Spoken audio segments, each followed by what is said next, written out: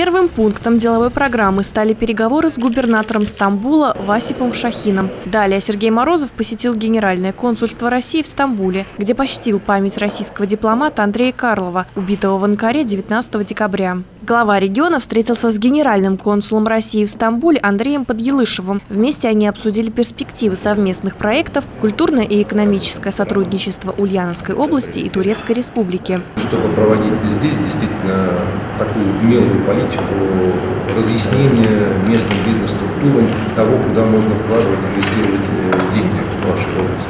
Соответственно, мы, если нужно, готовы оказывать в этом содействие. Следующим мероприятием стало участие ульяновской делегации в круглом столе в торговой палате Стамбула. Стороны обговорили перспективы двустороннего сотрудничества в области малого и среднего бизнеса, промышленности и инвестиций. А корпорация развития предпринимательства области подписала соглашение с руководством торговой палаты о взаимном продвижении продукции предприятий на рынке обеих территорий. Мы знаем, что здесь есть и серьезные производства, которые мы заинтересованы привести на нашу территорию.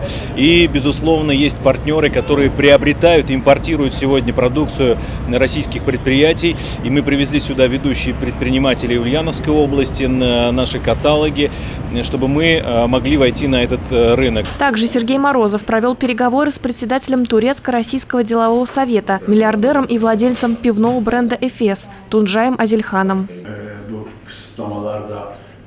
Несмотря на то, что в последнее время было применено очень много санкций, мы считаем, что они с течением времени уменьшатся, и деятельность между нами будет развиваться.